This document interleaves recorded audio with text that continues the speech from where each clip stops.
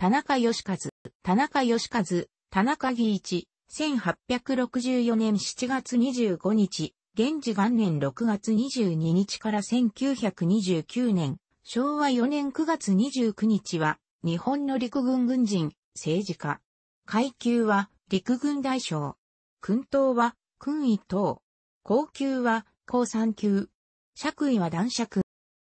陸軍大臣、貴族院議員、内閣総理大臣、第26代、外務大臣、第42代、内務大臣、第45代、宅務大臣、初代などを歴任した。萩藩士、田中伸介、御代の三男として、源氏元年6月22日、1864年7月25日に、長戸国阿部郡萩、現、山口県萩市に生まれた。父は、藩主の五六尺、籠書きを務める敬拝者の下級武士だった武術に優れた人物だったという。13歳で萩の乱に参加。若い頃は村役場の職員や小学校の教員を務めた後、20歳で陸軍共同団に入る。陸軍士官学校、旧8期、陸軍大学校、8期を経る。日清戦争に従軍、その後ロシアに留学した。ロシア留学時代は正教に入信し、日曜ごとに知り合いのロシア人を誘って教会へ礼拝に行くなど、徹したロシア研究に専念した。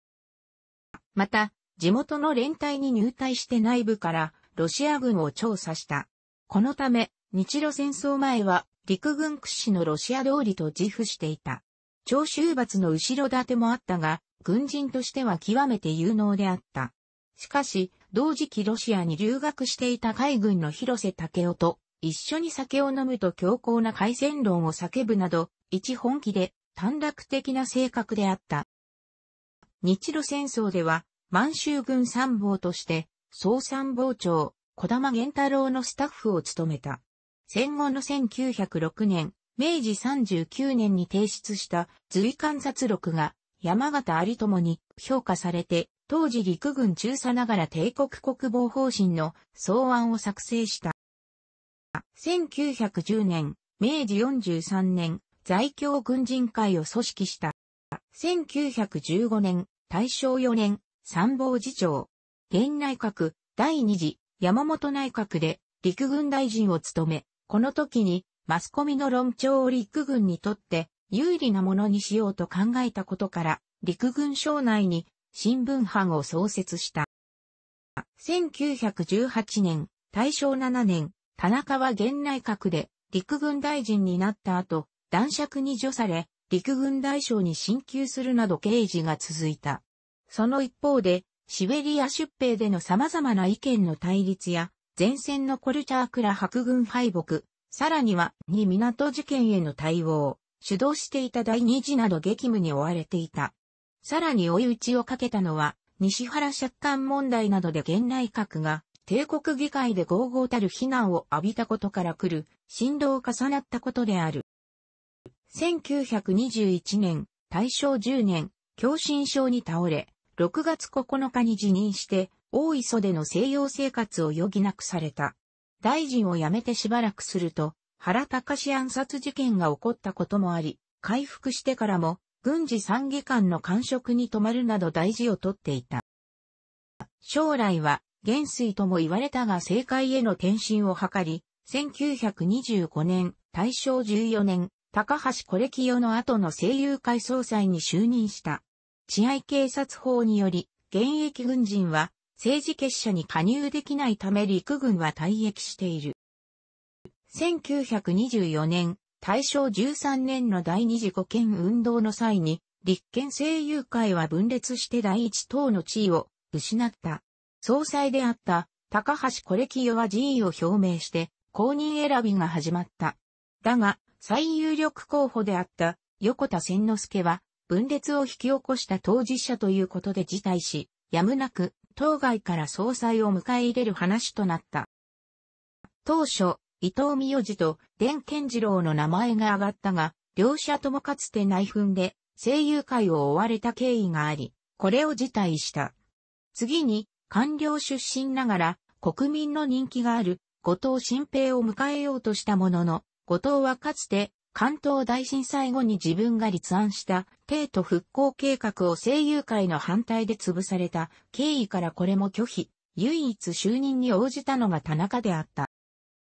田中就任の際、300万円の政治資金を持参金としたが、陸軍機密費から出たものではないかと、他党から追及されている陸軍機密費横領問題。また、在京軍人会を票集めに利用したとする疑惑もあった。真相は不明であるが、在京軍人会の育ての親である田中の声優会総裁就任及び対立する県政会後に立憲民政党の軍縮政策が在京軍の投票行動に影響したのは間違いなく高橋前総裁時代に出されていた軍部大臣の文官家論が就任直後の田中による鶴の一斉で否定されるなど党の政策が軍備強化、対外強硬路線へと転換る。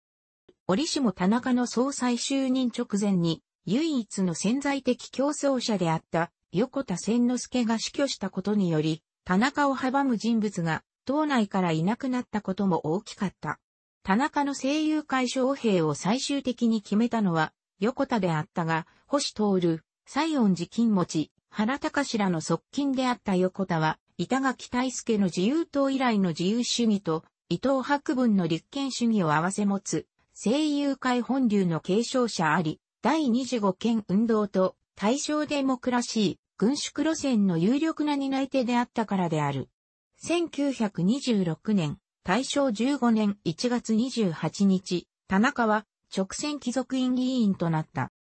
さらに、田中の誘いで声優会に入党した人物も、それまでの声優会とは異質な人々であった。鈴木喜三郎は国粋主義者として名高い平沼喜一郎、後の大審委員長、枢密院議長、首相が寵愛する、司官僚で自由主義を敵視していた人物であり、久原房之助は、田中自身の出身母体である陸軍長州罰と結んでいた聖称であった。やがて成立した田中内閣では、鈴木が内務大臣、同じく平沼系とされる弁護士の原義道が司法大臣に抜擢され、さらに鉄道大臣に小川平吉、外務政務次官に森務、外相は田中の兼務、内閣書記官長に鳩山一郎が任じられた。三人とも声優界の古参であるが、小川と森は国粋主義者として知られ、鳩山は鈴木の議定で協力者であった。二度の五権運動や大正デモクラシーで活躍した声優界の古参幹部も閣僚には任じられたが、重要ポストからは外された。当時、青年性格として名を馳せていた日田拓司に政治活動の協力を求め、第四代朝鮮総督の人選では、日田の推薦により山梨半蔵を任命した。鈴木、原によって治安警察法が強化され、森、小川によって軍部と連携して中国への積極的な進出策が図られるなど、護憲運動などでかつて声優会が勝ち取った成果を否定する政策が取られた。もっとも、県政会、民政党がリベラルな人々の支持を集めていく中で、これに代わる支持基盤をより保守的な人々に求めることで新たな支持層を開拓して、その受け皿になろうとした努力の表れとも考えることも可能である。こうした政策と第16回衆議院議員総選挙で鈴木が画策した選挙干渉によって統制は回復したものの、声優会は、かつての自由主義政党とは、離れた新軍的な保守政党に変質していくことになる。田中の没後に起きた、統水権看板問題における、声優会と軍部の連携も、単に立憲民政党への対抗というよりも、声優会の変質に伴う、新軍化、右傾化減少の反映であった。その後も短期の犬飼武総裁を経て、鈴木喜三郎、久原房之助、中島筑平、久原と同じ軍事関連の清少と、新軍派あるいは国粋主義派な総裁が同党の分裂、回答まで継続されることになる。1927年、昭和2年3月、第一次若月内閣の下で、全国各地の銀行で取り付け騒ぎが起こった昭和金融協行。若月内閣は同年4月17日に総辞職し、代わって立憲政友会総裁の田中が4月20日に閣した。田中内閣には元総理や次の総理を狙う大物政治家、そして将来の総理や枢密院議長などが肩を寄せ合い、大物揃いの内閣となった。増床に起用された高橋コレキオは全国でモラトリアム、支払い猶予令を実施し、金融強行を沈静化した。田中内閣は、県政改正県下で行われてきた、重原喜十郎らによる協調外交方針を転換し、積極外交に路線変更した。田中は外務大臣を兼任し、対中積極論者の森務を外務政務次官に起用して、お前が大臣になったつもりでやってくれと実務のすべてを任せていた。森は事実上の外相として、辣腕を振るい、三等出兵や東方会議の開催、調作人に対する圧迫などといった対中強硬外交が解されるが、ある程度の協調が望ましいとする田中と、あくまでも積極的な外交を良しとする森は、やがて対立するようになる。そこに事務方の外務次官としてやってきたのが、法天総領事を務め、中国問題に詳しいと自負していた。吉田茂であった。1928年、昭和3年2月に第1回普通選挙が行われ、社会主義的な活動が目立ったことから、同年3月に全国の社会主義者、共産主義者を一斉に検挙した3.15事件。この選挙後に人事のもつれから辞意を表明した閣僚を昭和天皇に移住させ、天皇を政局に利用したと批判され、水の文章友情問題、貴族院は異例の田中首相問責決議を可決した。同年に起きた超作林爆殺事件に際して国際的な信用を保つために容疑者を軍法会議によって厳罰に処すべきと主張し、その旨を天皇にも奏上したが、陸軍の強い反対にあったため果たせなかった。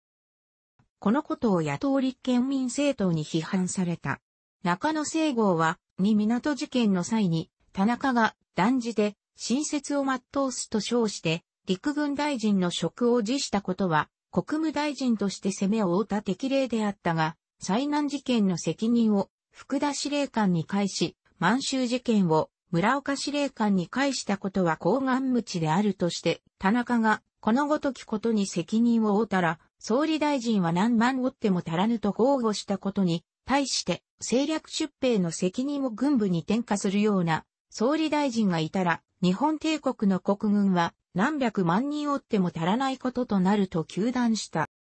1929年、昭和4年6月27日に関東軍は無関係であったと田中が天皇に奏上したところ、天皇はお前の最初に言ったことと違うじゃないか、と田中を直接質問した。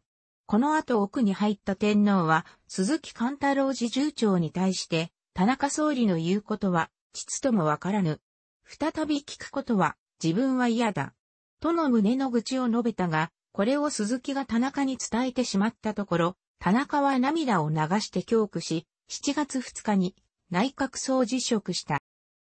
共心症の起用があった田中に、超作林爆殺事件で天皇の不況を買ったことは、やはりこらえた。退任後の田中は、あまり人前に出ることもなく、塞ぎがちだったという。内閣総辞職から3ヶ月も経たない1929年、昭和4年9月28日、田中は、貴族院議員当選祝賀会に主賓として出席するが、見るからに元気がなかった。そして翌29日午前6時、田中は、急性の狭心症で帰らぬ人となった。田中の死により、幕末期より勢力を保ち続けた長州閥の流れは、完全に途絶えることになった。昭和天皇は、田中を叱責したことが、内閣総辞職につながったばかりか、死に追いやる結果にもなったかもしれないということに、責任を痛感し、以後は、政府の方針に不満があっても、一切口を挟まなことを決意した。政治家としてはどちらかといえば厳しい評価のよく言われる田中であるが、公の前でもオラが、と親しく語るその性格は気さく、庶民的で、周囲の人望は極めて厚かった。そのことを示すエピソードがたくさんある。楽しくご覧になりましたら、購読と良いです。クリックしてください。